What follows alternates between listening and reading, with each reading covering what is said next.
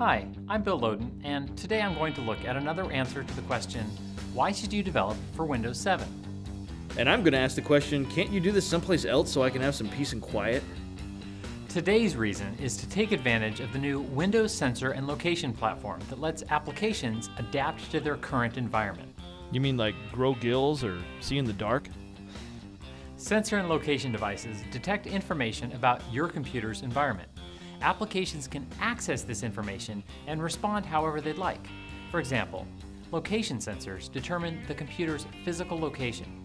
They might use a built-in GPS device, signals from Wi-Fi or cell phone towers, or just by looking at the user's current IP address. This all sounds very big brothery.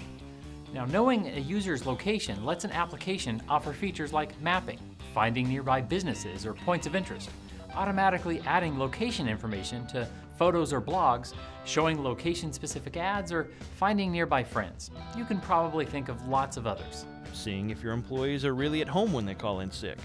In case you're worried that your users might object to being trackable because your application is location aware, you should know that the user is always in control of this. A user has to specifically authorize an application to access sensor data. And that's true not only for location data, but for any sensor data.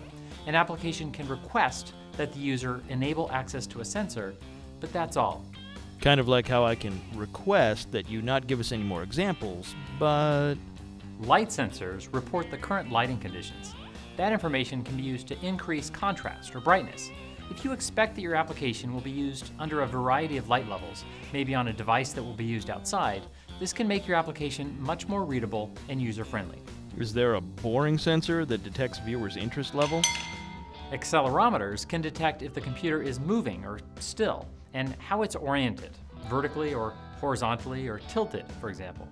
You might use this sensor in games or to automatically adjust a display to different orientations. Do they have a sensor that can sense when you're about to spill soda on your keyboard?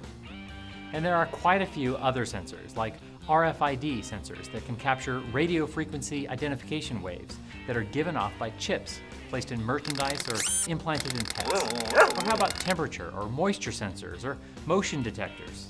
What are we supposed to do with all these things? What you can do with these sensors is up to you, whatever your imagination can think of.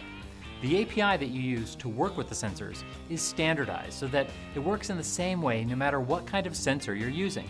And Microsoft has provided sample code for location-aware and sensor-enabled applications in the Windows 7 SDK, which is a free download that you can get at MSDN. Wow, free code. Can the API read my sarcasm sensor? Maybe you'd understand better if you saw it in action. Weatherbug, a Maryland-based ISV and Microsoft partner, has leveraged the Windows 7 sensor and location platform in the latest version of their desktop weather app. By selecting a menu and choosing Locate Me, the application will query the GPS device in the computer and update the interface with the local weather, and the user never has to enter their location. This is a great feature for mobile users who are traveling frequently. Weatherbug has also taken advantage of the new Windows 7 taskbar. For instance, right-clicking on the taskbar icon allows the user to select recent locations from the jump list, and the icon itself changes based on the current temperature.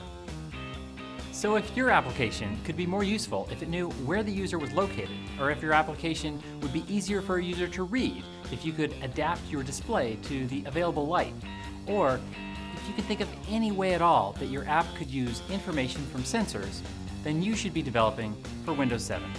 Hey, this thing actually works. I mean, this thing actually works.